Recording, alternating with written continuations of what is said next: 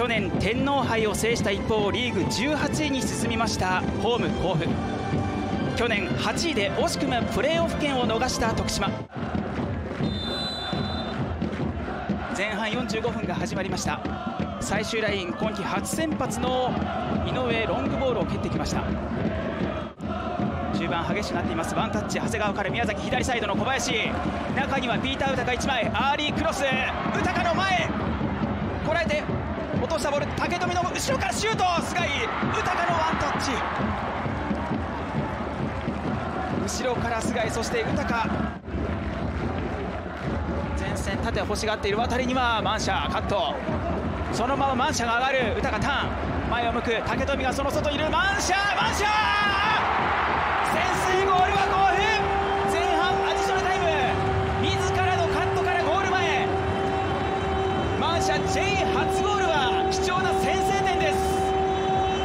宮崎と竹富が走ることによって真ん中が空きましたよね、はい、ここをマンシャ奪ったマンシャカットした甲府。速い出足浜下前を向く。ショートカウンターその浜下自ら打った！川田ファインセーブ！面白いですよね。そうですね。中央に。ここはショートコーナーの徳島。富山クロスが入るカカ決まった。追いついた徳島。西野が2試合連続ゴールです。後半早々にセットプレーの流れから追いついた徳島。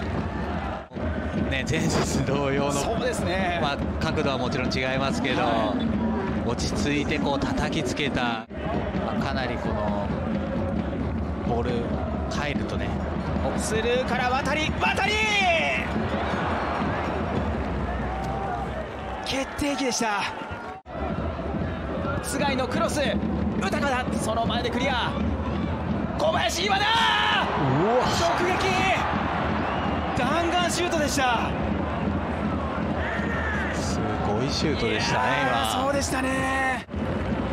復帰明けの小林のこのシュートです。ショートバウンドまあ。富山がいる西谷カットイン。白井正面。白井のシュート。ワンタッチありました。コーナーキックです。当たりましたね、え。ー、落とした。かき出したところで試合終了のホイッスル。先制したのは甲府。後半早い段階で追いついた徳島